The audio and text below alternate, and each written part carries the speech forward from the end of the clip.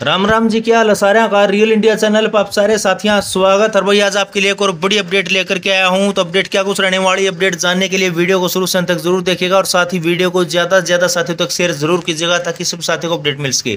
और साथ ही जो साथी चैनल पर नया आता तो भाई चैनल को सब्सक्राइब ज़रूर करें अपने साथियों सब चैनल को सब्सक्राइब ज़रूर करवाए, ताकि जो इसी तरह से आपको सरकारी नौकरी भर्तियों ज़रूर अपडेट मिलती रहे। तो साथियों फार्मासिस्ट भर्तियों लेकर के अपडेट आ चुकी है। और अन्य भी जो अपडेट आज की भर्तियों लेकर के तो मैं सारी जो बारी बारी से आपको बताने का काम करूँगा भाई।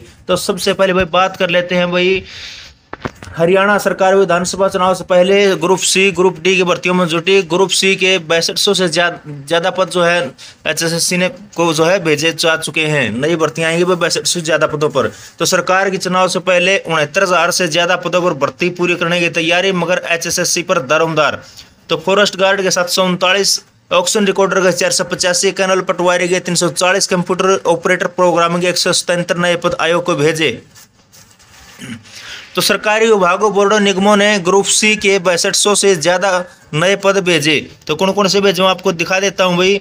सरकारी विभागों, बोर्डों, निगमों ने हरियाणा कर्मचारी चयन आयोग को ग्रुप सी के लगभग बैसठ सौ नए पद भेज दिए हैं। इसके अलावा पीआरटी के तेरह सौ अठानवे पद भेजे हैं। इन बैसठ सौ नए पदों में मुख्य तौर पर भाई फॉरेस्ट गार्ड के सात सौ उनतीस एफेड इंस्पेक्टर के इकहत्तर, फार्मासिस्ट के एक सौ पचासी, फ़ूड सप्लाई सब इंस्पेक्टर के चौरासी, फ़ूड सप्लाई जो इंस्पेक्टर के जो है अठारह, इलेक्शन कानूनों के सत्ताईस जे सिविल के तीन सौ तीस, मार्केटिंग बोर्ड में ऑप्शन रिकॉर्डर के चार सौ पचासी, मंडी सुपरवाइजर के सड़सठ, सहायक ड्राफ्ट्समैन सिविल के पैंतीस साल के दो सौ अड़सठ रेडियोथेरेपी टेक्नीशियन के एक सौ पाँच जे इलेक्ट्रिकल के दस, कैनल पटवारी के तीन सौ चालीस, ट्रेसर के पचास, रिसेप्शनिस्ट के दस, रोड रोलर ड्राइवर के जो है पैंतालीस, ट्रैक्टर ड्राइवर के दस, जीप चालक के बैसठ, ट्रक चालक के साठ, सहकारिता सब इंस्पेक्टर के तीस नए पद शामिल हैं।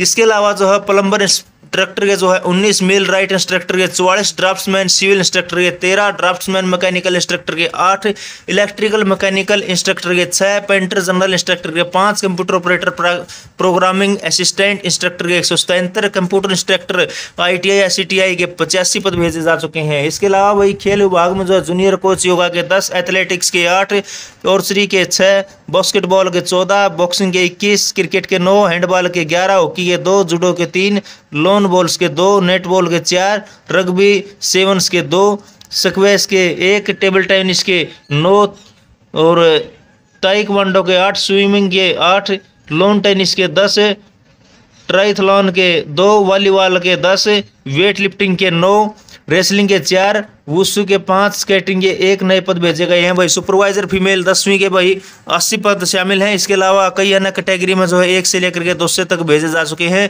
और इस तरह कुल अभी तक जो है बैसठ सौ से ज़्यादा पद भेज दिए गए हैं। इसके अलावा कुछ और पद भाई भेजे जा चुके हैं। और भाई जो ग्रुप डी का रिज़ल्ट है भाई वो जो है जारी किया जा चुका है भाई तो ग्रुप डी लगभग तीन हज़ार नए पद आयोग को भेजे जा चुके भाई तीन हज़ार पोस्टें और आनी भाई तो मुख्यमंत्री नायब सैनी के नेतृत्व वाली हरियाणा सरकार ग्रुप सी और ग्रुप डी के लगभग उनहत्तर हज़ार पदों पर आगामी विधानसभा चुनाव से पहले भर्ती पूरी करना चाहती है, मगर अब सब कुछ जो है एचएसएससी पर दरमदार रहेगा।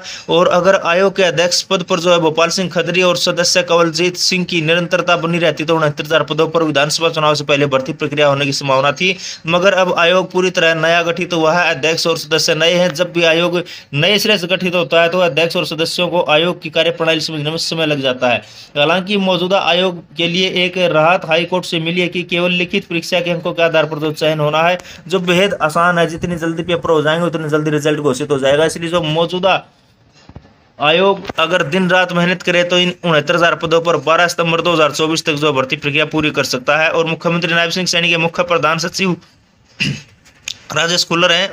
वो जो है, इन भर्तियों को पूरा करने में दिन रात जुटे हुए हैं और एडवोकेट जनरल बलदेव राज महाजन का जो कानूनी सहयोग बिना देरी के मिल रहा है और उसका परिणाम यह है कि उनकी कानूनी राय मिलते ही आयोग ने जो है, शनिवार को ग्रुप डी के सी रिज़ल्ट है, वो भी संशोधित कर दिया है। इसके बाद जो अगली प्रक्रिया पूरी की जाएगी भाई। तब दूसरी बड़ी बात कर लेते हैं अपडेट को लेकर के। भाई जो हरियाणा कैबिनेट की मीटिंग हो, होनी है तो उसमें भाई सरकार जो है बेरोजगार युवाओं को बड़ा तोहफा दे सकती है और तोहफा ये है कि भाई सी क्वालिफाई किया जा सकता है। इस पर जो सरकार विचार कर रही है ये जो आज की न्यूज़पेपर में जो प्रमुखता से खबर प्रकाशित हुई भी आपको दिखा देते हैं। तो हरियाणा सरकार सीटी को क्वालिफाई करने पर कर रही विचार लाखों युवाओं की मांग पूरी होने की उम्मीद। संशोधित सीटी अधिसूचना पंद्रह अगस्त दो हज़ार चौबीस के आसपास हो सकती है। जारी ग्रुप एक दो का पेपर बीस इक्कीस जुलाई ग्रुप छप्पन का सताईस अठाईस जुलाई को संभावना। तो मुख्यमंत्री नायब सिंह सैनी के नेतृत्व वाली हरियाणा सरकार लाखों बेरोजगार युवाओं को ग्रुप सी की भर्ती में सीटी क्वालिफाई का तोहफा दे सकते हैं। कुछ युवा दो दिन पहले मुख्यमंत्री नायब सिंह सैनी से मिले थे। उन्होंने मांग की थी कि सीटी को क्वालिफाई किया जाए। हालाँकि मौके पर तो मुख्यमंत्री ने उनकी बात सुन ली और कह भी दिया कि उनके ध्यान में है, मगर अंदरूनी तौर पर सीटी को संशोधित करने पर सरकार गंभीर है। तो यह मांग लगातार उठ रही है और सोशल मीडिया पर भी अभियान कई बार चलाया गया है। तो विधायकों को भी इस बारे में जो मांग पत्र सौंपे गए हैं। सरकार ऐसा कर जहाँ लाखों युवाओं को साधने का प्रयास कर रही है, वहीं भर्तियों में भी जो है सभी सीटी पास उम्मीदवारों को मौका मिल सकेगा और क्वालिफाई करने की सीटी के संशोधित अधिसूचना 15 अगस्त 2024 के आसपास जारी हो सकती है। तब तक जो आयोग पहले से चल रही भर्तियाँ पूरी करने प्रयास में और सीटी संशोधित होने के बाद सीटी कराना पड़ेगा और तब नए पदों पर जो है नए सिरे से भर्ती प्रक्रिया शुरू करनी होगी और सीटी में संशोधन में कुछ अन्य भी हट सकती हैं।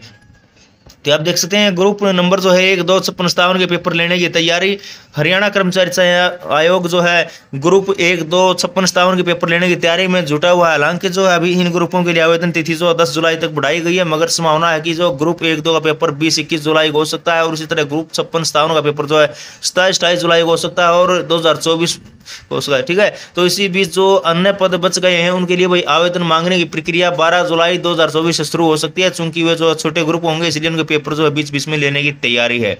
तो पुलिस सिपाही के पीएमटी 12 जुलाई से संभव है भाई, अपनी तैयारी रख लेना।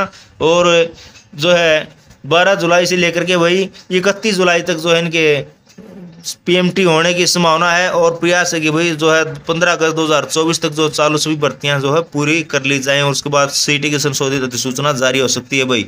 तो जो पीएमटी है वो भाई, ताऊ देवीलाल स्टेडियम पंचकुला वहाँ पे भाई होंगे। और हरियाणा जो है पुलिस के जो पाँच हज़ार नए पदों पर भी जो भर्ती होनी है। जो छः हज़ार पद निकाले भाई सरकार ने तो उम्मीद है भाई इन पाँच हज़ार पदों पर भी जो है भर्ती होगी इसी साल और संभावना की भाई जो पदों पर सीटी संशोधित सूचना के बाद जो भर्ती हो, ताकि जो सभी सीटी क्वालिफाई योग्य उम्मीदवार जो इसमें शामिल हो सके। तो भाई ये थी जो बड़ी अपडेट थी भाई। हरियाणा में सरकार नौकरियों, भर्तियों को लेकर के आपको अपडेट कैसी लगी, अच्छी लगी तो भाई वीडियो को लाइक करें कमेंट करें। वीडियो को भाई ज़्यादा से ज़्यादा साथियों तक शेयर ज़रूर करें। तो फिर मिलेंगे कि नहीं लेटेस्ट अपडेट के साथ। इसी के साथ जय हिंद, जय भारत।